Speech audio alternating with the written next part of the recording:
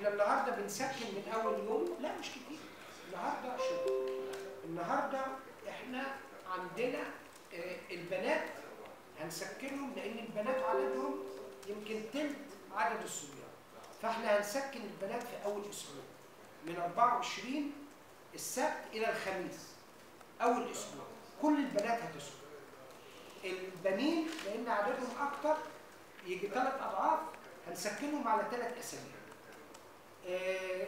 ثلاث أسابيع هيبدأوا من 24 لغاية في حدود آه، 18 أو 19 أكتوبر عشان أخذ أيام الأجازات والجمع آه، بعد كده هنبدأ كمان بالكليات العملية وال credit hours برامج ال credit hours هو بتحتاج إلى حضور علشان ما يفقدش الحضور بتاعه.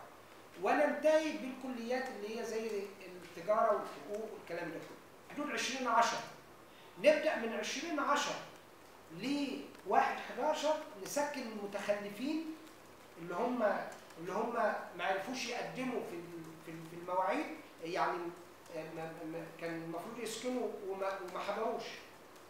والنطاق المشروط اللي هم الطلبة اللي هم لا يتوفر فيهم الشروط.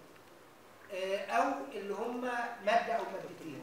حسب الأماكن نخلص كل ده بشغل المطاعم. ليه؟ هل إحنا قاصدين إن إحنا نكبر الطلاب؟ ابدا.